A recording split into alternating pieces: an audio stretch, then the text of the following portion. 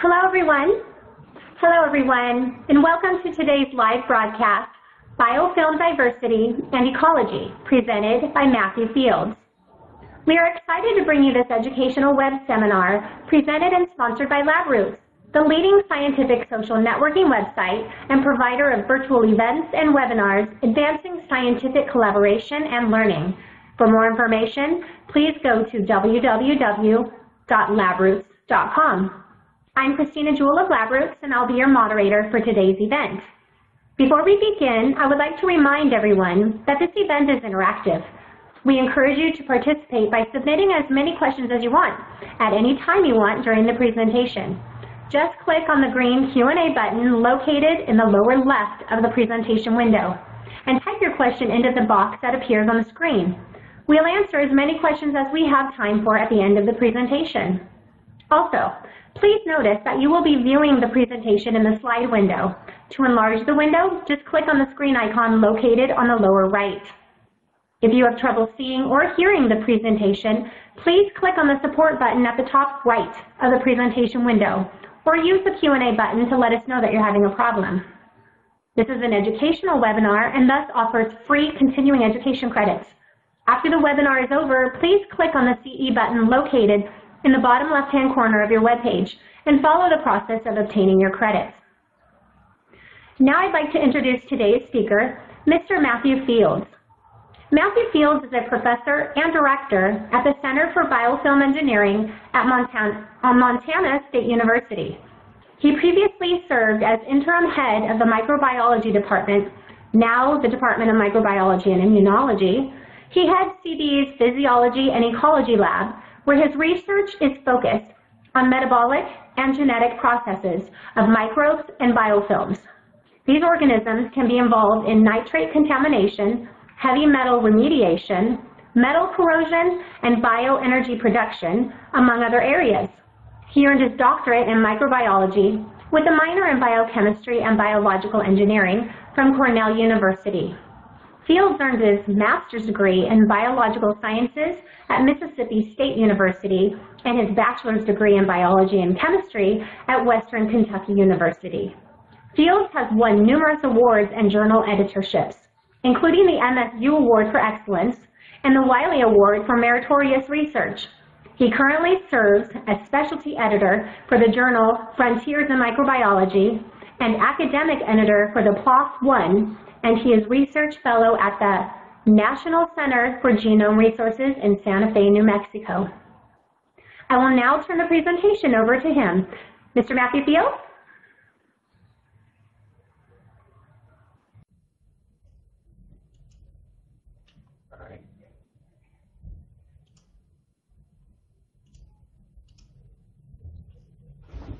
Thank you, Christina.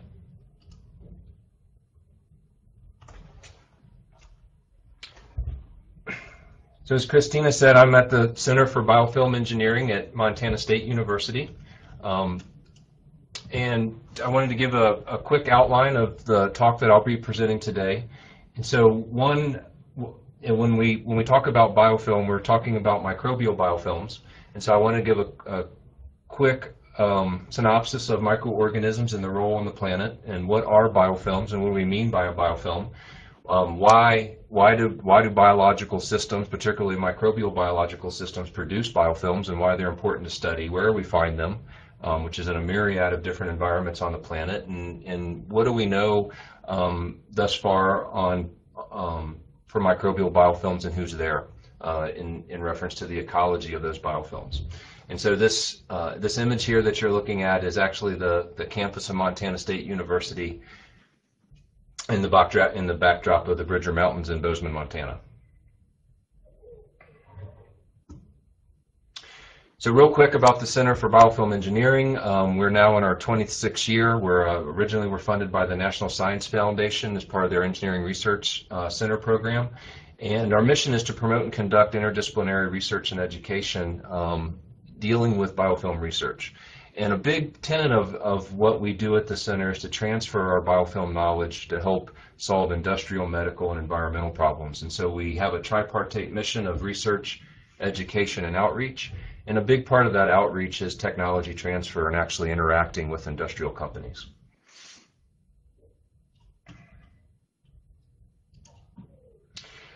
So as I mentioned in the outline, I want to give a, a quick, um, just catch everybody up to speed. I know we have uh, different folks with different backgrounds, and so about microorganisms. And so uh, microorganisms are predicted to comprise the largest amount of biomass on the planet, and they all they play pivotal roles in ecosystem function. And just about any imaginable planet or any imaginable environment on the planet is going to contain microorganisms, and they're going to play very important roles in the functioning of that ecosystem. Um, on top of that, they represent an immense, um, as yet undiscovered biochemical capacities. And so we, we know that we've barely scratched the surface of identifying what microorganisms are out there, um, what organisms we can cultivate in the lab and actually have genome sequence for. And so the what we think we know about microorganisms is really based on a small percentage of the ones that we've been able to study in the lab, and we know there's a lot more out there. Um, and there's a lot, meaning that there's a lot to discover and a lot to learn about about even carbon cycling, nitrogen cycling, and phosphorus cycling, and how microbes play a role in that. So, uh, a lot of good biochemistry. Microorganisms, as I mentioned, dis- di- dictate global biogeochemical processes for the cycling of carbon, nitrogen, sulfur, and phosphorus for almost every environment on the planet. And actually, it's estimated that microorganisms contain about half of the organic carbon on the planet and the other half being uh, residing in plants. And then they also contain the majority of organic nitrogen and phosphorus on Earth. And so that means that most of the nitrogen, most of biological nitrogen and phosphorus right now on the planet resides in the microbial realm of the planet. Micro, so, so in summary here for this slide, microorganisms play an important role on the planet, and they're very plentiful, and there are lots of different environments, and they do many important things. So this is looking at a tree of life based on 16S and 18S genes, um, a common biomarker to compare all the uh, different types of life forms on the planet. And so we have the three domains, bacterial, archaeal, and eukarya. And when we think about this, this tree of life and, and all of life as we know it right now, and here's where we are in the animal, uh, in animal kingdom within the domain of eukarya. And if we really think then about the, this tree of life and, and in what is large macroscopic organisms and what's microbial, the vast majority of this tree of life is microbial. So this means that the vast majority of life on the planet is, is microbial. They're microorganisms. Irrespective if you're thinking about, back, about the domain bacteria or archaea or eukarya. When we think about multicellular large animals, we're really at the we're at we're at a minority when we think about the tree of life. And so this states that most of life on the planet is microbial, and most of that life probably exists as biofilm. And so typically this is thought of as, sometimes you'll see this referred to as a mode of attached growth. And so when, when you think about a, a biological organism and it's going to attach to a surface, that's going to be synonymous with this term biofilm. And, we, and what's typically the paradigm in biology right now is that most of this microbial life is existing in a biofilm mode or as a on a a life or a, a form of life that's going to be attached to a surface. And so by this attached mode, what we mean is, is that microorganisms exist as self-organized communities attached to surfaces and to one another, and they're going to be surrounded by a self-produced extracellular polymeric substance that can contain a, a wide variety of biological and non-biological compounds. And so by non-biologic compounds, I'm meaning anything that's going to, any sort of, of chemistry or chemicals or anions or cations that are going to be present in that environment. And by biological compounds, I'm meaning um, certainly cells, but anything, then any type of macromolecule that's going to be produced by those cells, be it protein, lipids, carbohydrate, um, polymers thereof, or nucleic acids. And so there's going to be this, they're basically a self-organized uh, community that have lots of different microbial populations in it, and they're going to be sort of surrounded in this matrix that's made up of lots of different biological compounds. And so then this, this term, or this phrase, attached mode, really is synonymous with a biofilm. And this biofilm then is, is, is just what I had, had stated as a self-organized community, and it's sort of on a surface. Now, by surface, um, we can think of these these phase boundaries as, as in a variety of, of um, states. And so when I think about a surface, it could be between a liquid and a solid, it can be between a liquid and a gas, or it can be between a solid and a solid. So really any type of phase boundary where there's going to be moisture and there's going to be nutrients involved, you're going to find microbial biofilms in that type of environment, and there are going to be a multitude of physicochemical um, conditions. Um, if we can think about all the different types of, of environments on the planet that are going to be able to have these phase boundaries between solid, liquid, and gas.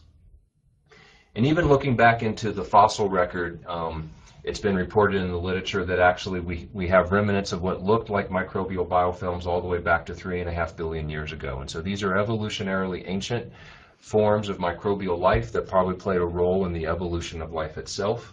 And even today, it's usually estimated that the vast majority of microbial populations that are present exist in a biofilm state, some type of a state where they're, they're attached either to each other or onto a liquid or a solid surface between these phase boundaries.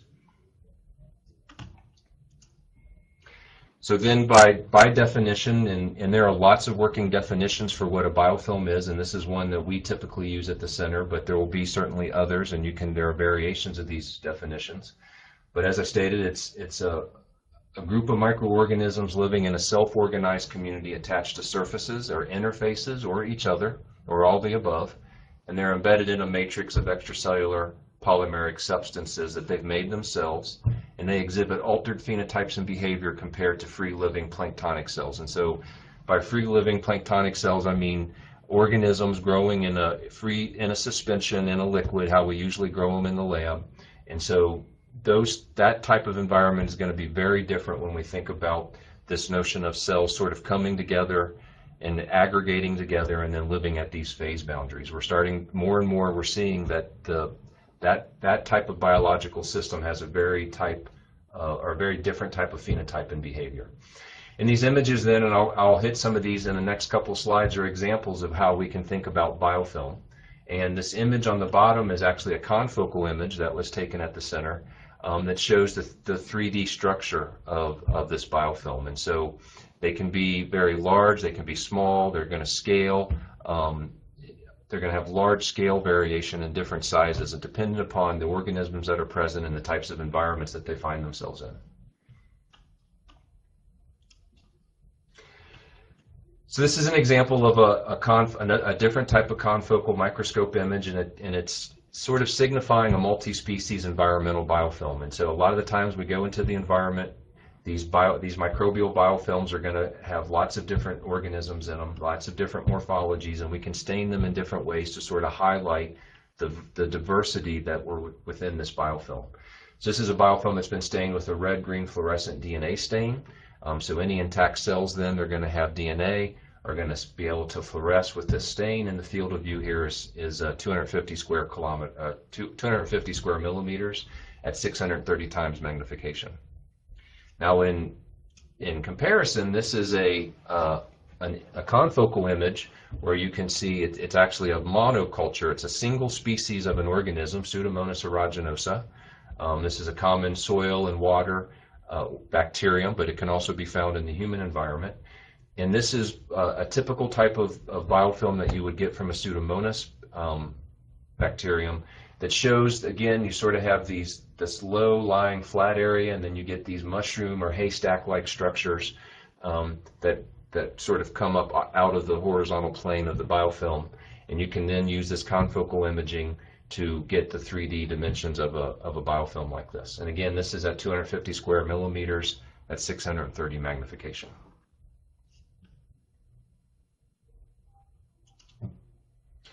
So this, the next two graphics will sort of uh, depict the formation of biofilm and the transition states uh, be, behind how a biofilm forms. And so at some point you're going to have to have a surface, and this, let me uh, come down here. And so if you look down here, you're going to have some type of phase boundary between a liquid and a solid state, and you're going to have microorganisms that are in this planktonic state. They're in the bulk phase of that liquid, and they're going to come into contact with that surface, and they're going to colonize it. And at which point, and you can already start to see a difference in these cells, at this point they're being shown to have these flagellar structures and they're motile and they're thought to come into contact with this solid surface, at which point they're going to typically, or at least the based on the systems that are typically studied for biofilm formation, those structures of motility are lost or are altered, and they start to, to build, uh, produce different types of cellular structures that are going to allow them to, to become sessile, to stay in place and interact with this surface and interact with each other. And during that process, then they start to accumulate this, what starts to, to, to be an initial biofilm and they start producing this matrix that's going to start to encase the biofilm. Cells are going to start to divide and they're going to build more matrix. They're going to change the proteins and the carbohydrates and the lipids that they're producing. And this biofilm then is going to start to communicate with one another. And, and this can be either for a monoculture biofilm or for a mixed species biofilm.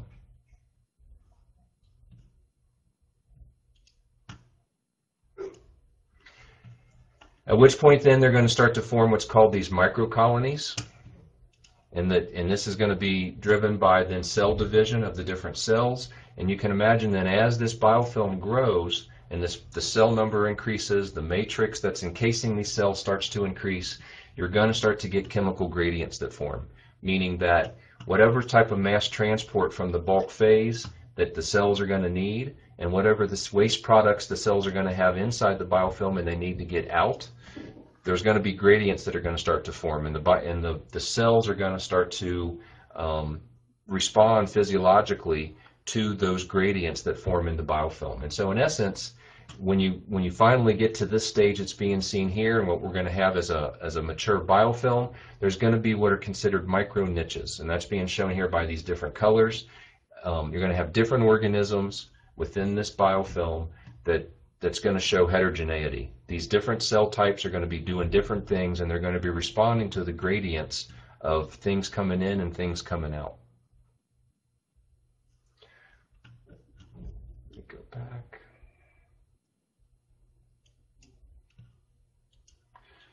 To where ultimately you what you what you we would get something that that's being depicted here as this mature biofilm. And so the, the biofilm has grown, it's reached a somewhat steady state with mass transport of nutrients from the outside and nutrient and waste products coming out.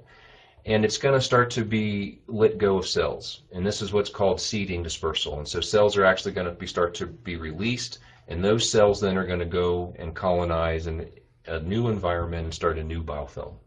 This can also be another way that this can happen is through this, these structures up here at the top of the screen, uh, biofilm streamers, or that you'll actually get these uh, dislodging of these large aggregates that can go and move um, to different places in the environment and initiate new biofilm. But ultimately, keep in mind that when we, during the formation of this biofilm and, and reaching the state of a mature biofilm, there's a lot of heterogeneity within this biofilm. And so almost start to imagine that um, what we typically think of for microbes as being single-celled organisms, they can form these biofilms and in essence become multicellular macroscopic. And so I think this was this has ramifications for when we think about the evolution of biological systems.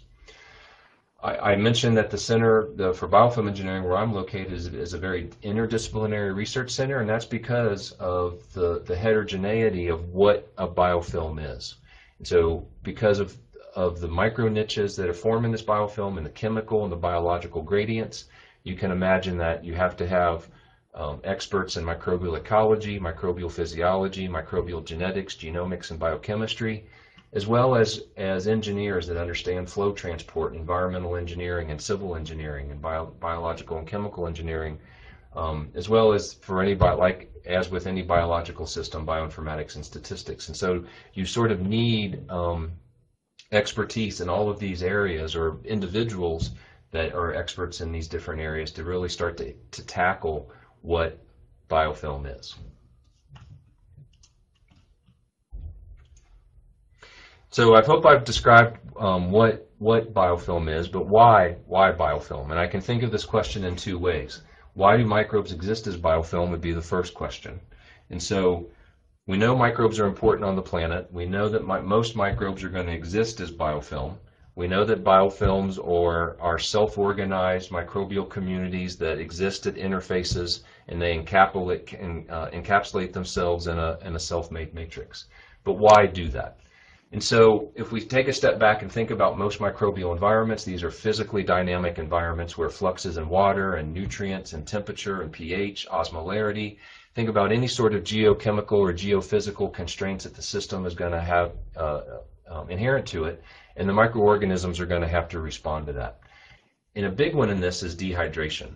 And so we know that dehydration events or water limitation events can inhibit motility, they limit nutrient availability, and in essence they can um, have a big impact on microbial activity. And so biofilm was probably at least one answer to that type of limitation. And so we know biofilms can help retain water, they absorb nutrients, they protect against salinity and osmolarity changes and pH changes and nutrient availability and redox potentials. Um, and so in many ways, these ge uh, geochemical and geophysical constraints, the biofilm is a way to respond to those constraints. In addition, we know that biofilms can be protection against predation. And so this would be, again, there's a lot of uh, mic, um, micro eukaryotes that, that actually um, are predators for, for bacteria, and so there's actually protection against predation um, in within biofilm. And we can actually even think about this in the human system and actually um, is protection against immune cells. And so you have an immune system that can elicit response to the presence of microorganisms, and there is some protection when they are in this biofilm mode. So that would be thinking about why, bio, why microbes exist as biofilms. This would be this would be multiple answers to that question. We also know that biofilms are an evolutionary adaptation to changing environments. And so this was probably one reason why they, they are evolutionarily ancient answer to the types of constraints that biological systems can experience. And in fact, um, there's been some recent work to suggest that we can think about these systems even where cooperation and differentiation were likely forged and selected.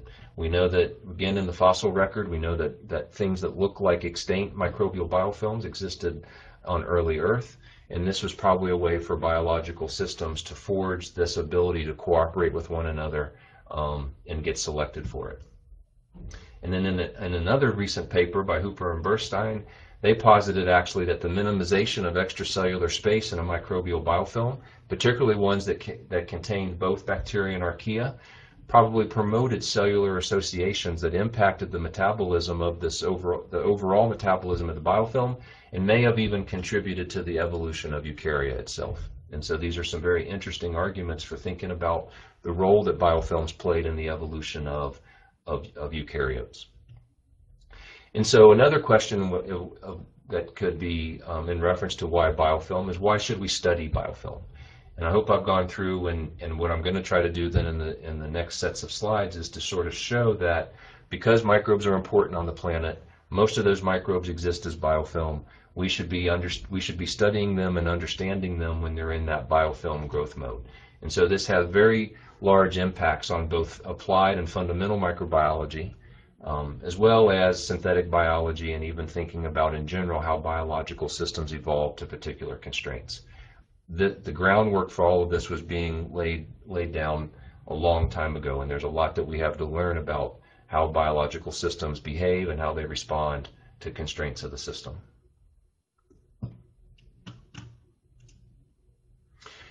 And so the, the title of the talk was diversity and ecology, and so part of that is, you know, where do we find these biofilms and, and what and, and who who who makes up what organisms make up these biofilms? And so as I stated, microbial biofilms are present in almost all known microbial habitats. That includes the human body, and we're getting an increasingly uh, uh, we're getting an increasing appreciation of the role that these microbes are playing on the human body. And they exist as multi-species communities with extreme complexity. And so again, we cannot think about microbes as these single-celled, simple single-celled organisms because they, they have the ability to form these multicellular macroscopic structures that have very different types of behavior than what we think of as a single cell. So where, where are biofilms? And so some of the most studied habitats range from wastewater treatment to drinking water to marine surface water to industrial installations. Um, any type of industrial um, uh, processing plant and such is going to have uh, microbes a part of that ecosystem. Hospitals, rhizosphere, agricultural fields, mine water, subsurface soils, So lots of different environments, and this is just, this certainly isn't all-inclusive, as only naming examples of some of the, the better studied systems. And then we can go all the way to the human-centric environments that include oral, intestinal, skin, urinary, and respiratory systems. And, and I'll sort of round out the talk with, with thinking about how the microbiome has impacted our, our understanding of microbial biofilms in the human, on and in the human body.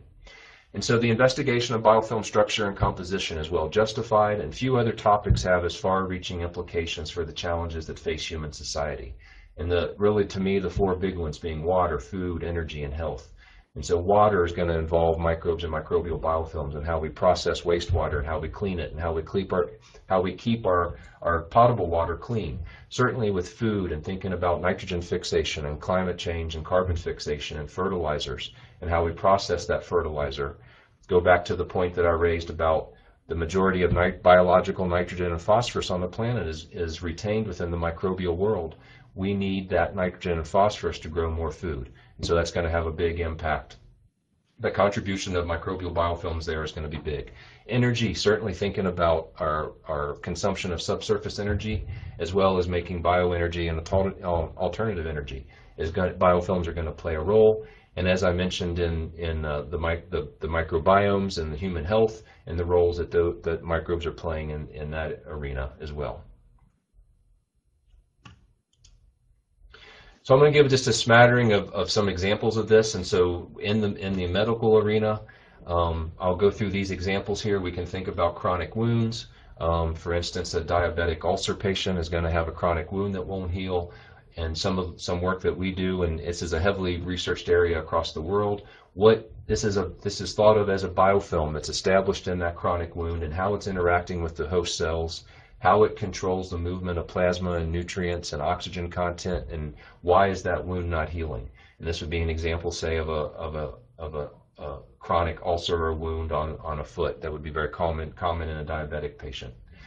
Um, certainly, um, moving over here to the right, thinking about the human oral cavity and the growth of dental plaque and gingivitis and dental caries and the role that microorganisms play in that environment. And um, it's actually one of the most most studied microbial or uh, ecological or one of the most studied microbial environments studied in, in respect to ecology and where we have a really good understanding of what's going on, but there's still a lot that we don't know. Then this, this graphic here down on the lower left is sort of giving an example of different environments um, that are studied around the world and, and how microbial biofilms can impact um, catheters of different systems, say artificial implants into the human body, um, even in the mouth where we have an interface between a solid surface like the tooth enamel and liquid that's coming over that tooth enamel. These are all what I meant by phase boundaries. And these are great habitats that are going to be um, in, uh, environments for microbes to live. A contact lens is another example of this phase boundary of a solid surface that's going to be between, where you're going to have liquid in between, and you've got two, the surface of the eye and the surface of the contact lens, and then the liquid in between. If these aren't kept clean or if these aren't replaced right, or if you get a solution that's contaminated, this is a great place for biofilms to grow. This is looking at a, a, a different type of a wound where in, in this human body where we have a wound that won't heal and what's the role of biofilm and why it's not allowing the body to heal. And then again, as I mentioned, surgical implants. And this is another area of, of uh, research and understanding my, unwanted microbial biofilms. We can move into surfaces around the home where some are obvious, say in the bathroom or in hot tubs or in other moist environments like a shower stall, um, into the kitchen. But even then thinking about these surfaces of, of, say, a carpet, and where you don't really think of them as a moist environment, but there certainly is enough moisture for microbes to grow. And, and there's a lot of work then trying to understand um, microbial biofilms in these types of environments. And I want to, this is a, a good point to raise, we typically think of a microbial biofilm as a big, snotty, slimy structure, and it doesn't always have to be that way. And so even when we think about an environment like this, this carpet that's being shown down in the lower right-hand corner, and that maybe we don't think of as a lot of free moisture in that, there is moisture and particles of food and other debris that come into that environment, and you're going to get microbes then growing on those surfaces and adhering to them. And so these, these in fact do become environments for microbial biofilms. We can think of a wide array of natural environments and man-made structures that become home to microbial biofilms. And so um, Up here on the upper left and lower, lower left, we can think about um, natural stream environments or where there's water. We have photo, photo-driven types of environments all the way to the thermal features within Yellowstone and the different types of mat material we have. Those are, those are technically biofilms. We can think of water cooling towers in industry or wa- water cooling apparatus where we're going to get um, liquid and solid interfaces and there's going to be food there for microbial biofilms to establish. This example up here are actually um, water lines from a dental office. And if you then take that tubing out, so these would be potable water distribution lines, and you get formations of biofilm on, on the inside of these. Um, this is an example of a, of a kitchen drain sink. Obviously, lots of different types of nutrients that are going to be coming through that environment and the types of biofilm that can establish. This would be an example of a, of a metal pipe or a, um, think of these commonly as in water and oil and gas distribution systems, and a, a large problem is metal corrosion, and bio, microbial biofilms play a big role in that. Food process, food and food processing surfaces are another big area, and I think it's going to be one that's going to really start to grow as we try to control foodborne pathogens and how food is processed in, in an industrial setting. Um, in this industrial setting that's being shown here, how can we control microbial biofilms? These are examples of household biofilms, and so this would be something that almost any of us can relate to. This would be of a, of a kitchen sink, and we can then move down, and then we use a stereo microscope at the center, and you can start to see then the biofilm that's going to be uh, at, the biofilm that's going to be un underneath this drain within between the rubber stopper. You've got lots of moisture coming through, through lots of food, and the establishment of a biofilm. This was be an example of an aerator that's in the, the faucet, a kitchen sink faucet, and microbes are going to start to establish and growth, or start to establish and grow biofilm. This would be, say, a common kitchen sink sponge, and the types of microbial biofilm that's grown within that sponge.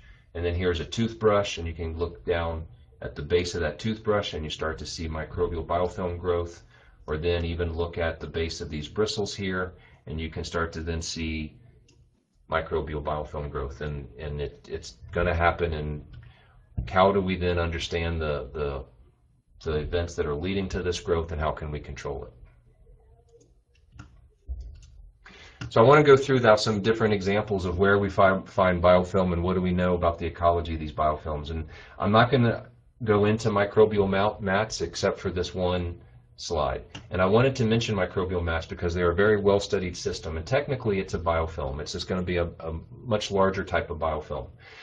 And so these are evolutionarily ancient biofilms. These are the types of biofilms that probably we find fossil record for um, on ancient Earth.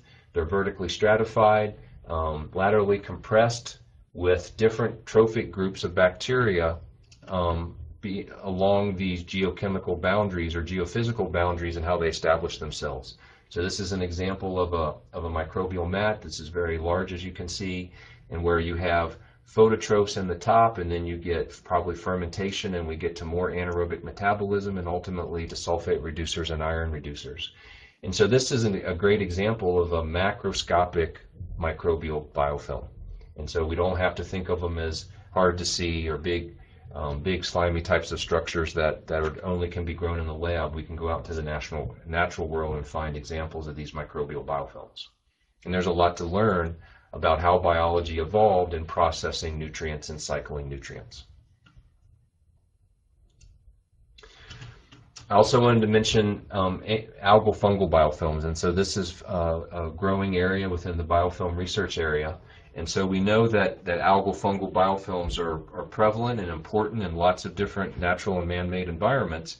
And in fact, um, some recent work has shown, and actually uh, um, recent uh, work actually back in the 90s has actually estimated that almost 20% of fungi um, are able to form symbiotic relationships with algae and, in things known as lichens. And so most people are familiar with lichens. And so almost 20% of fungi are in these types of relationships, and this is actually could be considered as an algal fungal biofilm. And we know that they play uh, very important roles in nutrient turnover as well as maintenance of biodiversity in lots of different environments. So this is work from a recent publication in 2016 where you, they're starting to actually grow chlorella, which is an algae, and this mucor fungus, and understanding how they interact and grow as a biofilm. And then these slides down here at the bottom is work from the USGS, where they want to understand these photo, photo-driven um, algal biofilms that you're going to see prevalent in lots of aquatic environments, um, and actually try to find ways to grow them in a lab in a tractable way to understand nutrient turnover in a mixed eukaryotic biofilm. This also leads then to this notion of exterior biofilms, and by exterior I'm really meaning sort of uh, exterior of, man, of man-made structures. And so we know that these types of structures are going to be inhabited by bacteria, algae, and fungi, and they can cause aesthetic as well as physical damage. Um, but they also can, can contribute to health issues. And so there's a lot of work, or I should say a lot of upcoming work about the, the built environment on the outside and the interior of the, of the, of the building and how mixed microbial biofilms play a role in that environment. And so this was a recent paper that I'm citing here in 2014 where and they looked at um, uh, different cyanobacterial populations that were predominating building facades in India. And actually a few years ago then there's some uh, work done by Polo et al., which uh, is some some work that uh, we have some we have there's a colleagues of ours in Italy and they've been looking at this notion or this ability of green algae and black fungi to dominate biofilms on mortar, mortar and stone buildings. And they actually found that the mortar used for restoration of, of these ancient or uh, uh, historically re uh, relevant buildings, the, the restorative uh, compound that's used contains acrylic and siloxane, and that these actually turn, turn out to be used as carbon and energy sources for the microorganisms and actually help grow the biofilm. And I put this picture here of the Jeff Jefferson Memorial. There's been some recent uh, news in the uh, news articles know, on the web and by the Washington Post where they're interested in some of this fungal algal biofilm that's actually starting to deteriorate the, the Jefferson Memorial. So this would be another place, another important role that, um, detrimental role that, that mixed species biofilms are playing in man-made environments. Now we also have environments in the subsurface. Um, if you can imagine the, the even the top kilometer of, of the Earth's crust and think of that as the subsurface of the soil, there's a lot of microbial biomass there and those microbes are, are adhered to the surf, the soil um, as a biofilm. And there, there's a lot of interest in understanding what they do and ro what role they play in carbon turnover for the, um, for the planet. Though what I'm mentioning here now is, and what I'm showing is subsurface biofilms and energy because in my lab we study um, coal bed methane. And we know that there are coal seams, deep coal seams, and that they produce natural gas. And a significant portion of that natural gas is actually being actively made by a microbial pop, by a microbial community actually. And we know that what's happening is that microbial community is interacting with the coal and actually adhering to it and using that as a carbon source that ultimately gets broken down into natural gas. And then energy companies harvest the water out of the ground, they collect that natural gas, and they can sell it as an energy source. And so we're, we've been interested actually in, in these subsurface coal biofilms and creating a field site in eastern Montana in conjunction with the USGS to understand the distribution of these coal biofilms um, at different levels. And so just to give an example of this is the type of work that you have to go out at these field sites. You have wells in the ground and we can pump water and then we can put down samplers into these wells and allow the microorganisms to, in essence, inhabit the coal and form biofilms on that coal so that we can then bring them back up to the surface and study them. So these are just examples of graduate students at our field site um, outside of Birney, Montana. And this is actually water's being collected as we pump it out of those wells and all of that bubble um, all of those bubbles are actually the methane gas that's being produced by microorganisms. And so we can we can drill. Um, so as being shown here in this slide at our field site, these are showing different wells, and these wells go to different depths. Um, and when we develop those wells, then we have the core material, and out of these coal materials, out of these core materials, we can then assess microbial communities as they're distributed through this material. And you can then see this, this would be an example of the mixing from a sandstone into the coal material. And we can ask, what did the bio, what are the, the microbial biofilm communities look like on that coal material? And we can actually then start to assess which populations are being are predominating at, with coal material and which microbial populations are more common in the in the sandstone areas. And so with the with the idea that we want to understand what microbes are present with that coal, how are they degrading that coal, and how does that impact the overall ability of methanogenesis. And so in essence, we're, we're, we're looking at subsurface microbial biofilms, how they turn over recalcitrant carbon in the terrestrial subsurface, and how this ultimately then links in with the global carbon cycle. Another area that microbial biofilms are very important are, and I, as I mentioned is this in one of the previous slides, that picture of the corroding metal pipeline. And so metal corrosion um, is, is very big problem, uh, particularly in water distribution and gas distribution and petroleum hydrocarbon distribution. And so corrosion is a relatively simple electrochemical process that involves matching electrochemicals processes between the oxidation of a metal at the anode and a parallel chemical reduction at the cathode. And microorganisms actually help complete this circuit and carry out metal corrosion. And so we know that microbial biofilms can actually help accelerate the corrosion process, and in some instances they can actually help retard it by actually covering and protecting the metal from sort of, from chemical chemical um, oxidation, or should say chemical redox reactions. So this is an image from a, a, a review paper that was written by Dennis Enning et al. in 2012, and this let me go back and get my marker. So this material here is the microbial biofilm, and these are microbial cells. And so what's happening is that they actually will get um, organic carbon and electron sources from the bulk phase. They can also then strip that out of the metal surface. And in this case, we're showing sulfate reducers. And so they'll take those electrons and reduce sulfate to sulfide, which itself um, is a corrosive agent. And this can also then produce iron sulfides then that reside on the metal.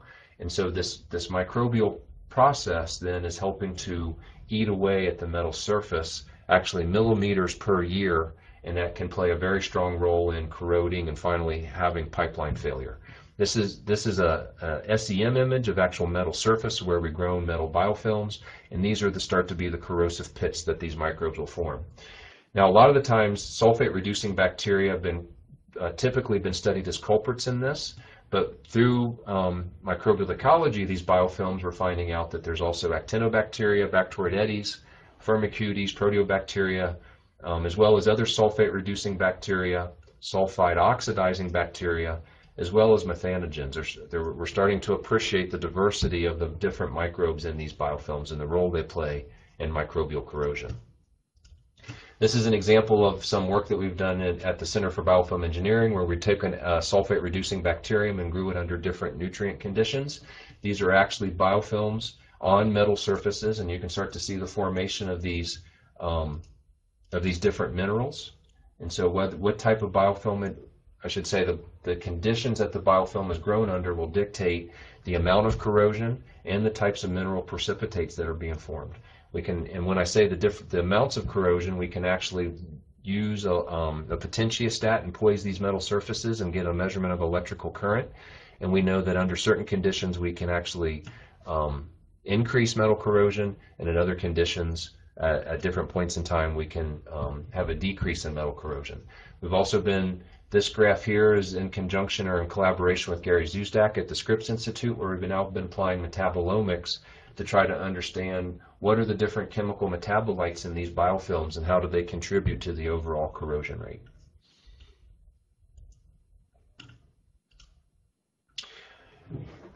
I mentioned in an earlier slide that biofilms are important for wastewater treatment. This has been a this has had a, a, huge impact on humans on human society in the last hundred or so years on our ability to treat our wastewater and clean it up.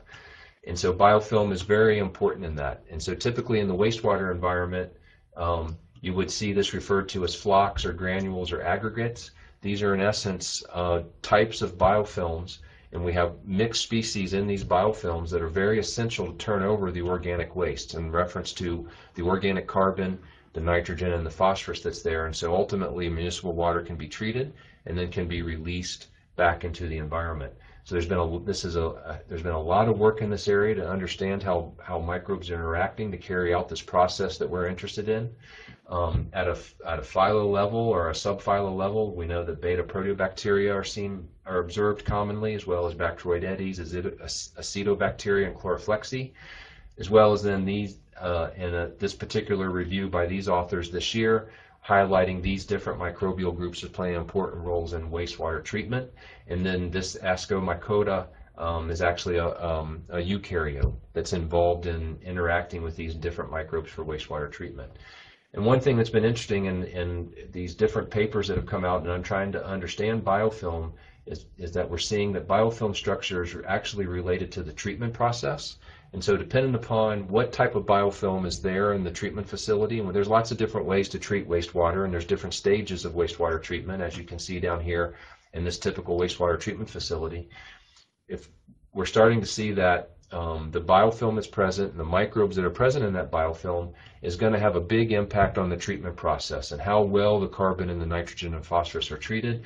This means that as we learn how to control the ecology, we're going to be able to control the process better. We're going to be able to make it more stable and more efficient and actually ultimately get the desired nutrient cycling that we wanted. So this is another big area of biofilm research is in the wastewater treatment area. So this is an example of some of the work that we've been doing in the wastewater area. And so um, I have a graduate student that's been looking at the wastewater lagoon system um, at, in Logan, Utah. This is one of the largest municipal wastewater lagoons in the country. It's 460 acres and holds about 900 million gallons of water.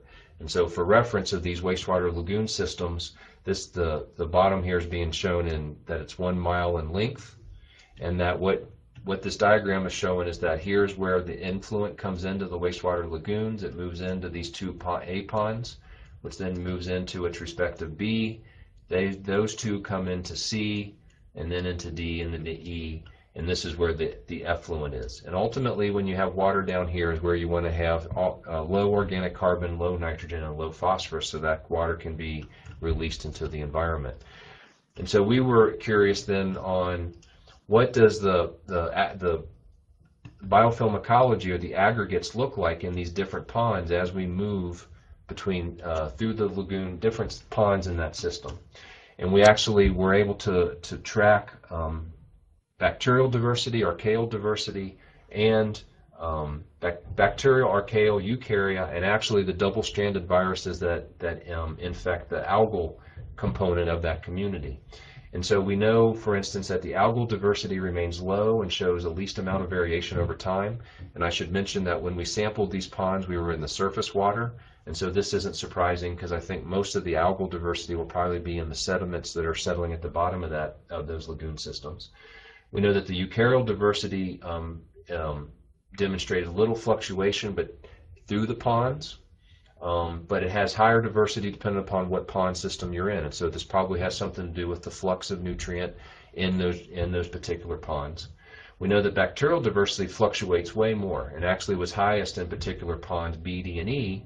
And these are actually some of the ponds where we have the lowest eukaryote diversity. And so this starts to give you some insight into potential competition between very high level um, microbial groups that are fighting for that for those nutrients that you want to turn over.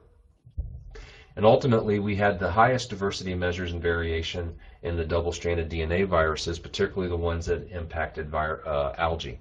And so what we're trying to do now is take all of that data and estimate, um, create, or estimate a food network. These are basically population networks that where we're trying to understand positive and negative correlations or interactions between different microbial groups within these aggregates and biofilms and what how do they impact nutrient recycling in this given environment? And this is very common line of work that's, that's um, in wastewater treatment right now.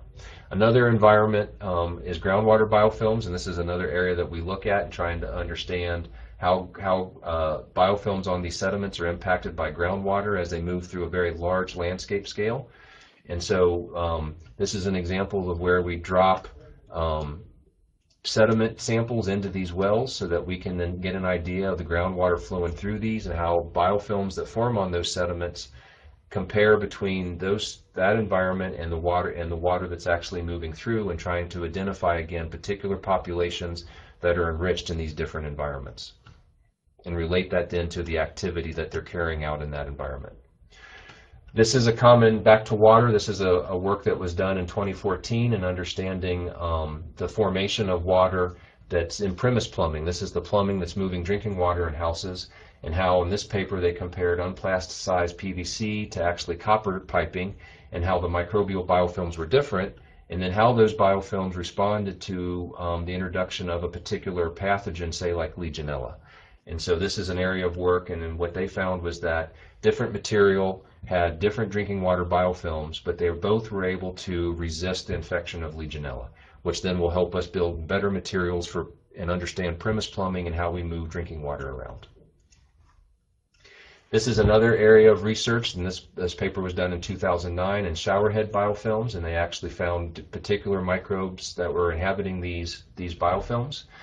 Of interest was the, the identification of microspecies bacteria, which have been related to pulmonary disease, and whether you have um, municipal drinking water or if you're on well water, they found the incidence of these mycobacteria different. So that's another uh, in, uh, active area of research. This was another interesting paper of Flores 2013 where they were actually tracking um, biofilms in the different kitchen environments. And ultimately they found that the human skin was the primary source for all surfaces with some contamination of food in the faucet, uh, faucet water as you would suspect. And so thinking about then all the different surfaces in an environment like the kitchen and how we interact with that environment and, and interchange microbial biofilms between, the, between those environments. So I want to wrap up then thinking about the human microbiome, which has been an active area of research, and thinking about microbial biofilms, whether we're talking about the stomach or the intestines or the mouth or the skin.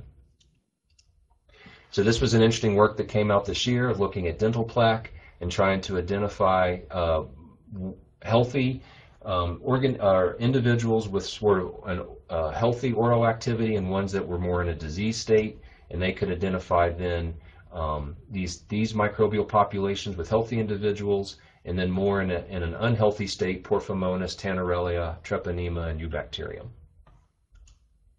Human skin is another active area of understanding biofilm growth, and we can, we can think of the human body and the largest organ being one and a half to two meters square, square meters of, of surface area and all the microbes that are on that. And what you're shown here is 3D imaging of individual body spots and, and looking at the distribution of Staphylococcus, Propionibacterium, and Corynebacterium, and the prevalence of those microbial populations at different spots in the human body. And, that, and again, that paper came out last year in 2015. And then the, the role that those organisms play in, in maintaining healthy skin and, and disease states of the skin. This is an active area of research and could be considered biofilm.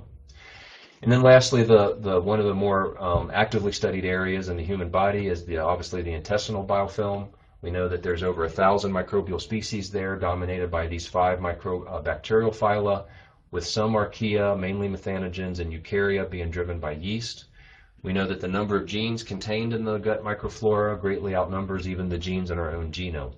We know that these, these intestinal biofilms um, help facilitate nutrients, they synthesize vitamins, they stimulate the immune system, they maintain low numbers of pathogens. There's been some work to show that there's a link between irritable bowel syndrome, obesity, diabetes, arteriosclerosis, and colorectal cancer. And so, for example, in, in de Vos 2015, they actually talked about this, for instance, this one organism that's a mucin degrader, and that it developed specific interactions with host cells. And in a mouse study, it actually protected the host from a, a diet-induced obesity. And so mucin is the the uh, the the slime that's produced by your intestinal cells and how microbes interact with that and the role that that plays in an overall health of the individual. And so with that, I want to, to wrap up and, and, and hopefully uh, gave a breadth of different places we fi find biofilms, why biofilms important, and what do we know thus far about who's in those biofilms. This is a, a picture of a lot of the folks at the center. Um, so again, as I mentioned, we're an interdisciplinary research center with lots of different experts in different areas. And then this is my research group, and, and work in my uh, lab is, is currently funded by the Department of Energy, the uh, NSF, and NIH. Uh, thank you very much.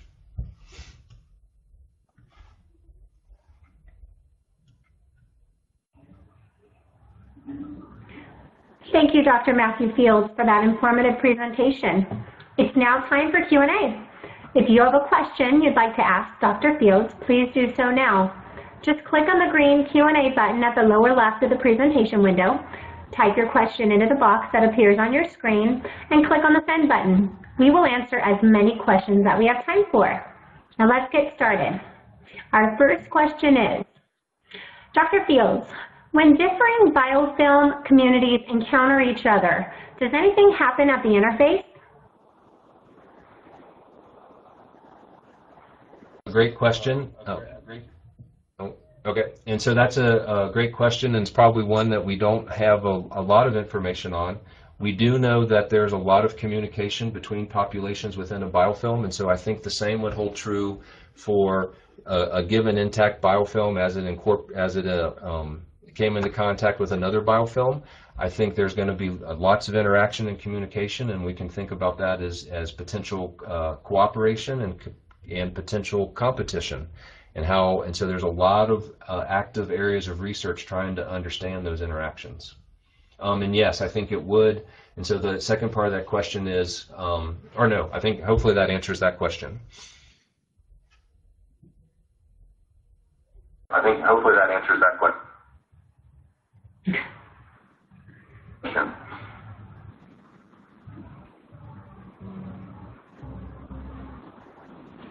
Next question. Do different bacterial strains generate different types of biofilm? And if so, does this impact the stability of the biofilm?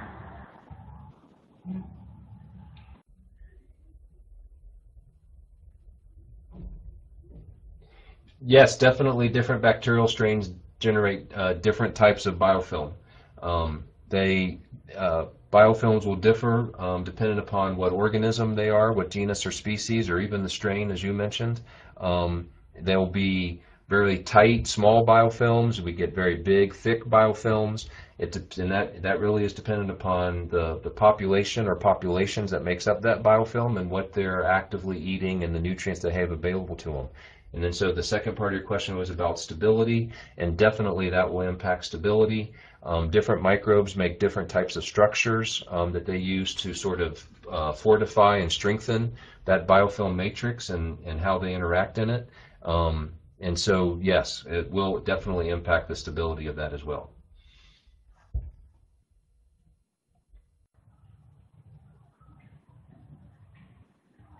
Next question. How do you sample and study the different microenvironments present in mature biofilms, particularly multi-species biofilms? Oh.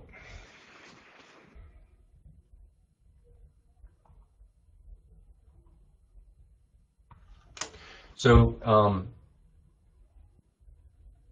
so there are def definitely microenvironments within um, within the biofilm. And work that's being done right now is to try to actually uh, use microelectrodes. And so these are tiny electro electrodes that say try to measure different chemical constituents, um, maybe maybe redox, maybe pH, and to try to understand in this very heterogeneous biofilm matrix at a very micro, you know, say 10 micron scale, what that's how we sort of get at measuring an intact biofilm and start to pick apart those micro those micro niches. When we think about uh, multi-species biofilms, yes, then and, and even even for a monoculture biofilm, this is a biofilm made by one organism, say it's like Pseudomonas that I showed in my talk, there will probably even be uh, micro niches and heterogeneity within that monoculture biofilm, meaning I could have a population of Pseudomonas cells over here that are doing one thing, and they and a, pop, a subpopulation of Pseudomonas cells over here that are doing something very different. And so even even within a monoculture and certainly within a multi-species biofilm, then you try to then use microelectrodes and get at these different micro niches.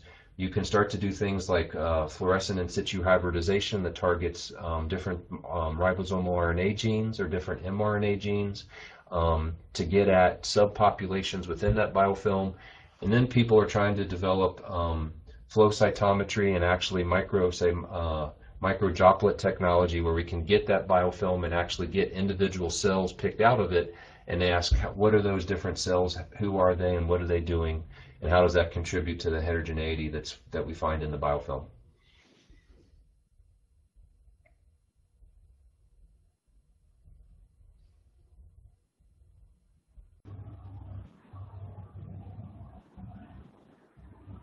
Dr. Fields, in, in a laboratory, why do some sugar, uh, let me rephrase this.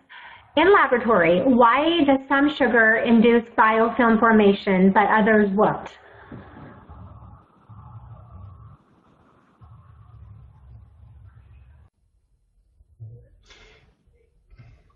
So why some sugars would induce biofilm formation and others won't? Um, I think a lot of that work's probably been done on on a on a hand, on certain bacteria, particularly pathogens.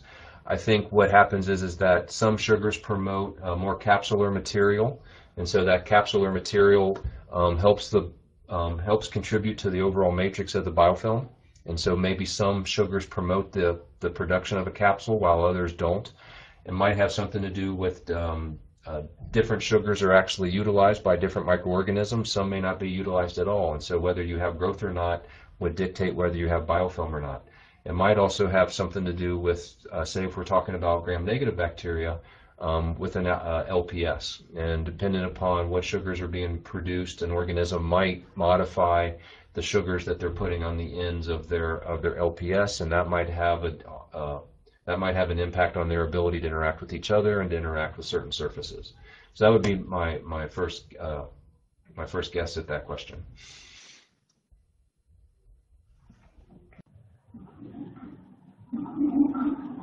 Next question. Have any biofilms been discovered in the nuclear industry?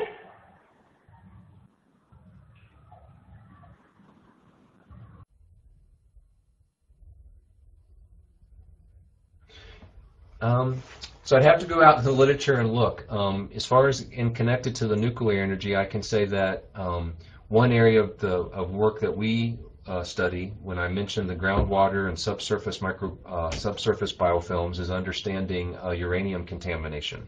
And so this was uranium waste um, from the Manhattan Project, and that's uh, you know obviously long-term stored waste, and that we have to deal with the movement of those heavy metals and we're trying to find ways to use microorganisms to mediate that bioremediation project. Um, I think if you went into the nuclear ind industry on cooling towers um, cooling water, you would definitely find probably biofilm issues um, for heat transfer and how bi microbial biofilms are impacting that. And so I think that would be another area that um, would impact the, the nuclear industry.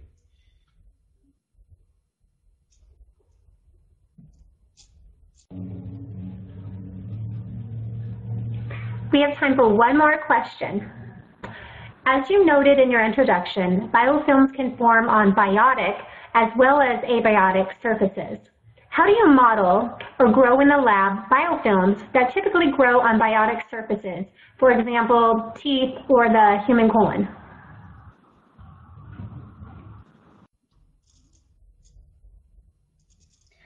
Um, so two, two examples that I can think of, particularly the ones that you mentioned, teeth would be a great example of, of a, a biological solid surface. And so um, some people have actually used uh, real teeth um, to grow biofilms on, but probably what even more commonly we can use um, apatite um, or other types of hard material that has a very similar mineral structure to say enamel and dentine and actually uh, uh, make a thin sheet of that type of material and then grow biofilm in reactors um, on that type of material.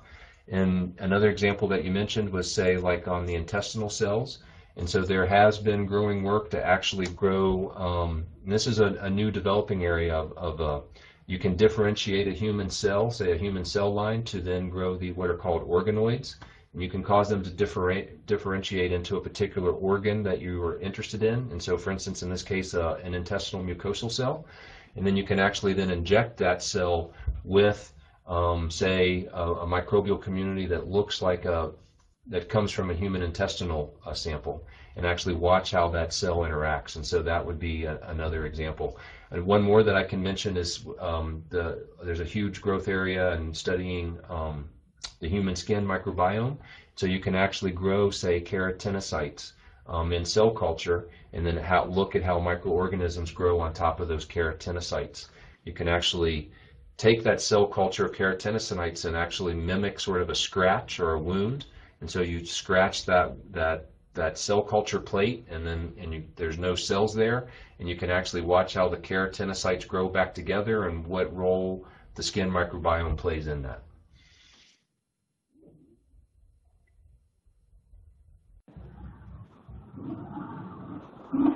Dr. Fields, we're going to squeeze in one more question. Do microbes and biofilm react differently in zero gravity? On ISS, for example.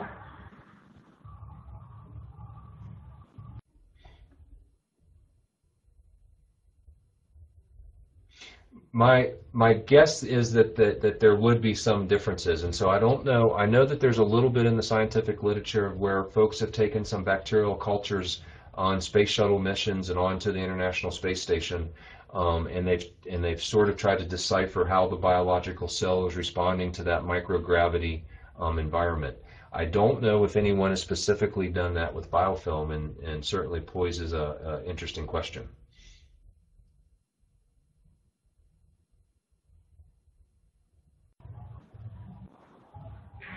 Thank you once again, Dr. Matthew Fields. I would also like to thank our sponsor, LabRoots, for making today's educational webcast possible. Before we go, I want to let everyone know that today's webcast will be available for on-demand viewing until December 7th, 2016. You will receive an email from LabRoots letting you know when this webcast will be available for replay. Please share that announcement with your colleagues who may have missed today's live event. That's all for now. Thanks for joining us. We hope to see you again. Bye.